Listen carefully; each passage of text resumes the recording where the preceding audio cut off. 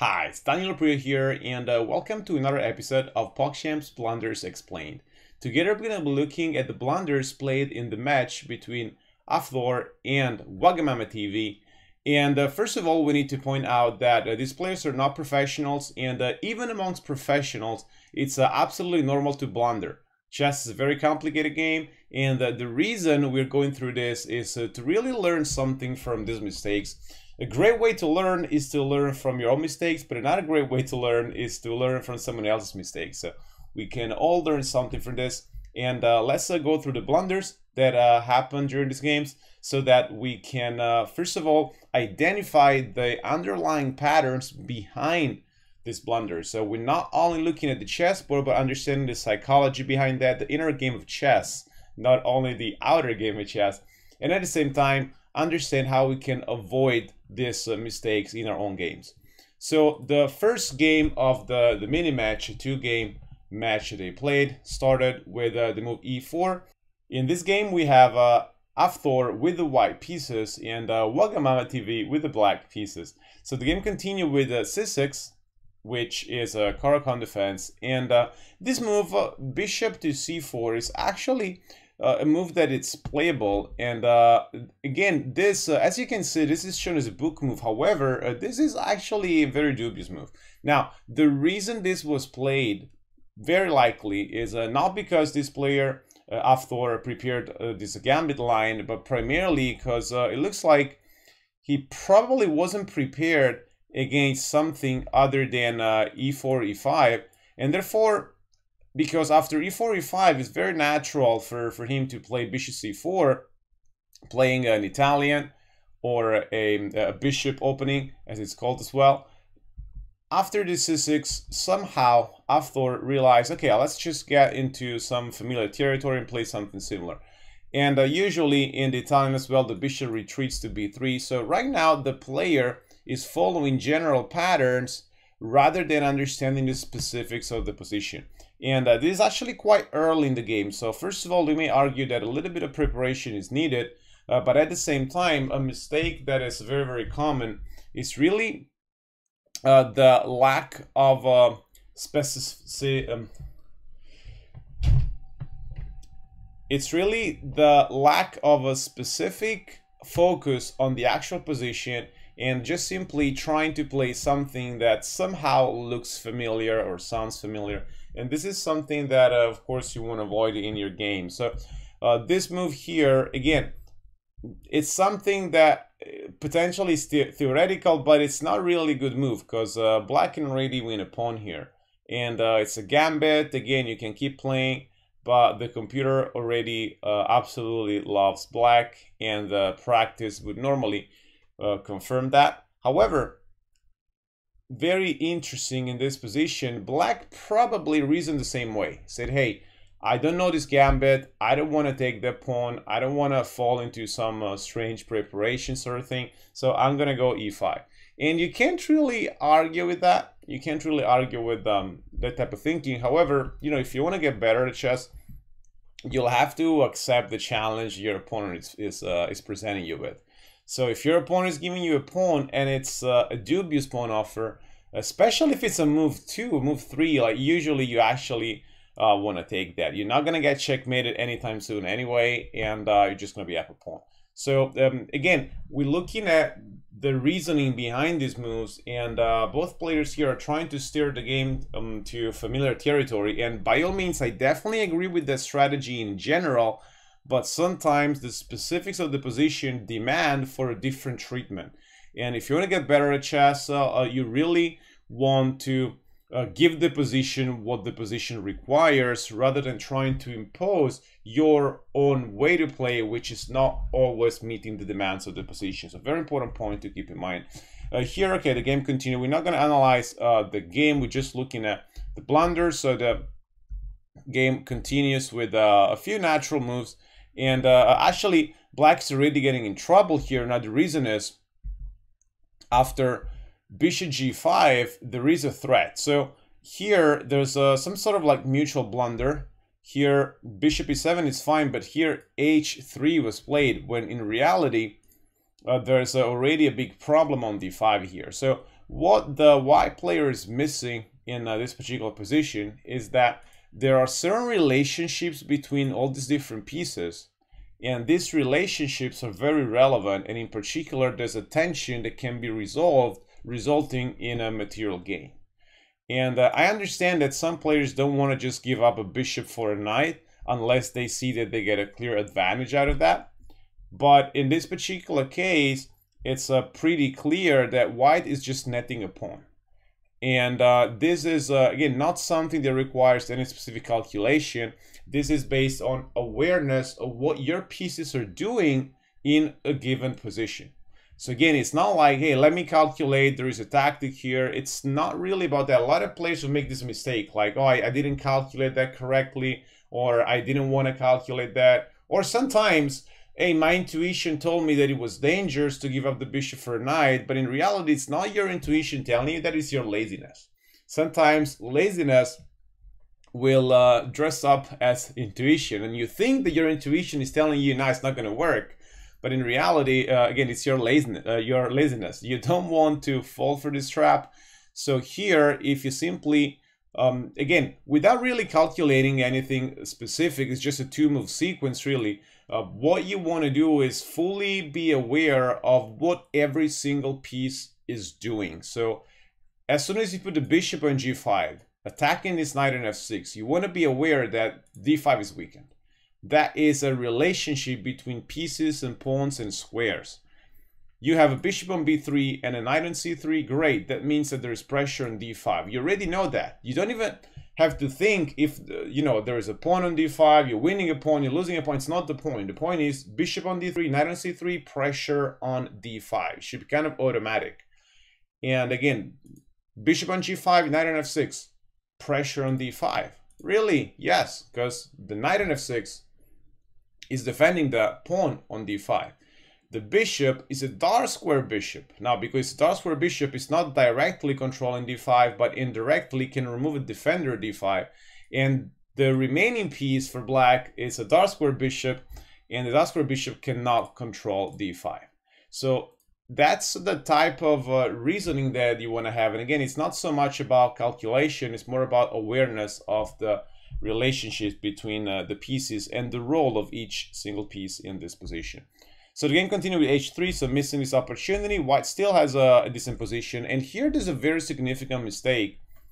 Um, once again, it was possible to to capture, and uh, and of course black should have captured the knight just to avoid uh, this tactic with bishop f6. But here this move, uh, knight b5, is extremely instructive. Excuse me. So knight b5 is actually extremely instructive uh, because it's uh, not just a move saying, hey, I play knight b5, I thought I had something, and then after that, my opponent played a6, I realized I didn't have anything, I had to go back. Uh, the underlying issue with this move is that out of the opening, white doesn't know what to do. And uh, the move knight b5 itself is actually a pretty common pattern. It will come back in the second game as well um, this this move knight b5 really signals lack of understanding of how to create a plan. So some of these players, again, this is perfectly understandable because they have extremely tight schedules and and uh, chess is a very complex game. But a lot of these players are given some opening lines, but they're not really taught how to create a plan in the middle game. And uh, what happens is that right out of the opening, they basically don't know what to do. So it's not about not knowing what to do, as in which move to make, but more specifically, uh, how you come up with a good move to make when there is nothing to do. So uh, there's a beautiful saying which goes, "Tactics is what you do when there is something to do, and strategy is what you do when there is nothing to do." So right now there's nothing to do. You can't. Well, technically there is. You could win a pawn, but let's say you miss that opportunity. You say, "Okay, there is no tactic in the position. What do I do? How do I come up with a plan?" So here an idea would really be say, hey, okay, let's think what are the weaknesses for black? How can I improve my pieces? What are potential squares where my, my knight would like to jump and uh, so on. So which piece I can improve, which piece is good, which piece is bad. Uh, where is my pawn structure pointing towards, where is my opponent's pawn structure pointing towards, and so on. So all these different strategic considerations, and as a result of it, coming up with a method really to choose, hey, that's the move I'm going to make because I'm attending to the strategy of the position. So uh, again, the move knight b5 is really signaling an underlying lack of uh, understanding, or more than understanding, just lack of a method to come up with uh, something to do in uh, the middle game. And of course, the knight just has to go back. And uh, now black takes this knight and uh, just captures the pawn in the center. Now white is still fine here because there is pressure against this uh, d5 pawn, so white can actually win the pawn back. Uh, but that's how the, the game continues here. Uh, after rook a e1, rook e8, uh, a very bad move here, queen e3. So this is a, a major blunder, which uh, basically just decides the game uh, almost on the spot. And once again, there's two components to this blunder. One component is simply missing the fork. So you would realize, okay, I put my queen on a square where uh, it's actually vulnerable because there's another piece that can be forked by the move uh, d4. So here, the main component of the blunder is uh, failing to see the pattern of the pawn fork. And if you notice something like that in your games, then you definitely want to get more familiar with pawn forks. Just do a lot of tactics that involve pawn forks. You can filter tactics by theme, and that's how you'll get better at that. But the other element is once again not knowing what to do. Like even if this move queen e3 wasn't a blunder, like what is the queen doing on e3 that is not doing on on d2? Uh, the point is here, uh, you really want to come up with something constructive to do rather than making random moves. And uh, even if there is nothing immediate to do, once again, there isn't any tactic in the position, but hey, where are my pieces better placed? I know I just placed this this rook here, but maybe this rook doesn't belong here. Should we, now that this rook is on e8, controlling uh, the e4 square indirectly after captures, captures, captures, why don't I go to the d1, for example, and uh, put pressure on d5, which again, is it's the weakness. Understanding the structure means, hey, look, there is a weakness on d5 because this pawn is a backward pawn right now how can I pile up against this? Another idea is also to simply play rook e2 and uh, doubling the rooks or bringing the other rook to d1 as well. So that's how you really want to come up with a with a plan to improve your pieces and uh, and, and so on. And uh, this mistake just decides the game. And what's instructive is that after a few moves, uh, there's actually another mistake which again walks into a fork. And uh, it's exactly the same pattern it's a pawn fork. So once again not realizing uh, that these two pieces um, form a configuration where they can be forked by a pawn.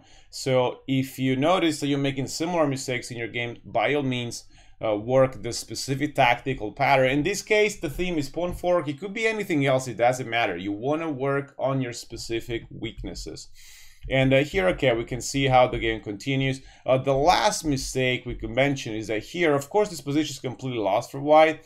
But in general, especially considering the clock situation, uh, in this particular game, Wagamama TV playing with black pieces was significantly low on time. So here it would have made a lot of sense just to create more problems uh, to keep pieces on the board. And a move like queen d1, allowing the queen exchange, makes it so easy for the opponent to simplify the position and uh, win very, uh, very easily. So we'll be more testing to keep the pieces on the board, for example, just going queen f3 instead of, uh, of queen d1. And of course, the position is still lost, but there are more opportunities for black to go wrong. All of a sudden, black will have nothing immediately obvious uh, to do, and therefore, um, with only a few, in particular, I think this position Black had something like 17 seconds on the clock. There was an increment of 5 seconds per move, but again, at this level, that is a severe time pressure. So, really, it would have been lumber testing to keep more pieces on the board. So, in general, if you're trying to save a lost position, uh, keeping the pieces on the board is uh, definitely a strategy that you want to keep in mind. And also, not making it easy for the opponent to uh, just uh, just uh, play only moves. So here, capturing this, of course, big mistake. Uh, capturing again, and now this position is extremely easy for black to win, so we'll not spend uh, too much time on that. And uh, the game eventually ended in this position. And let's have a quick look at the other game that they played. Of course, now Wagamama TV playing with the white pieces. And uh, we have a London system, symmetrical variation. So far, everything good. And this game was actually played quite well by both players, but here we see the same problem, same problem as in the last game. Now, this move uh, is actually pretty dubious, and uh, what's interesting about this is not so much you know the move itself, but the fact that this move follows the same exact pattern as uh, the mistake that we saw in the previous game, the knight b5. So after knight b5, a6, the knight was forced back, and uh, and that wasn't good. Right now, you can see there is a knight on uh, on b8 hasn't been developed yet, and because this knight is not developed, there's a rook here that is also not developed. What is the point of moving the same piece twice in the opening uh, when this piece is not really attacking anything? There is no checkmate threat here because this knight is defending. There's another knight here supporting the, the f3 knight, so really nothing is going to happen regardless. Uh, so this move uh, is a is a big mistake because of that. And again, if you see yourself making these mistakes, what you want to do is identify the pattern. Say, hey, I play this uh, knight move when I shouldn't because this knight is not doing anything. And meanwhile, I've got more important things to do with uh, my pieces. And uh, here there was actually one uh, blunder here, very significant. the same thing happened. The knight was kicked back. This time Hafthor noticed that there would have been a fork if he had retreated the knight to f6. So uh, that shows the improvement, you know, seeing the mistake and uh, fixing that on the go. So very good uh, adaptability by the player with the black pieces. And uh, now this game was really decided by a single mistake, I believe. A c5 would be the move to play, noticing that there is pressure on uh, this pawn, which uh, if it's not pushed, it will end up being a backward pawn. Uh, but here, there was a major mistake here, the sequence with, uh, with this f5. And the reason f5 happened, um, in my opinion, I mean, I, I have no way to know this for sure, but in my opinion, this move happened because uh, the black player was really trying to force uh, the issue as quickly as possible knowing that uh, he was in a must-win situation. Now, if you're in a must-win situation, feeling the pressure, having to take massive risks when there is no way really to do that productively, uh, it's not really a good strategy. So even if you're in a in a must-win situation, it's easier to win from an equal position than from a lost position. That is a very important principle. It's easier to win from an equal position than from a lost position. So you don't want to ruin your position for nothing uh, just because you have this feeling inside you that you should do something in order, uh, once again, to force the issue and um, uh, get something going it's better sometimes to wait and uh, maybe your opponent will make a mistake or maybe you'll force the, the matter later on uh, when you can do that um, by creating uh, at least some practical problems. So this move f5 is very risky and it's very weakening, but it doesn't really create any practical problems. So if you are to make a move that is anti-positional like this f5 here, uh, you want to do that if at least it creates uh, some um, some trouble to the opponent, at least forces the opponent to make some tough decisions. That's at the very least. Here, White reacted very well. Actually, White played this game extremely well, over 98% uh, accuracy, I believe. So after e5, this queen is short of squares, and uh, what uh, Hafthor failed to realize, um, mostly because I believe it, he was feeling the pressure having to do something here. I failed to realize that white had a threat. In fact, white was threatening e5, and there's no way to keep the queen uh, near the pawn uh, on c7, and uh, therefore now the rook is penetrating, and uh, this game was very soon over. There was no other significant mistake in this game uh, really uh, there was uh, of course it, it, was possible to slow down the mate but white was going to win anyway because of the passer so uh, this is um, um, the result. And again i believe the major blunder here was this uh, move f5 and we explained uh, why i believe that happened. So i hope this was useful. If you've identified some patterns some decision making uh, mistakes that you have made in your own games or maybe some uh, similar dynamics again that you, you either identified in your previous play or maybe that you now notice you're now more aware of and you will be uh, more careful in your future games. Uh, definitely let me know in the comments. So just uh, type a comment and let me know. And uh, if you enjoyed this video make sure you subscribe to this channel. So hit the subscribe button. And uh, I will see you in the very next video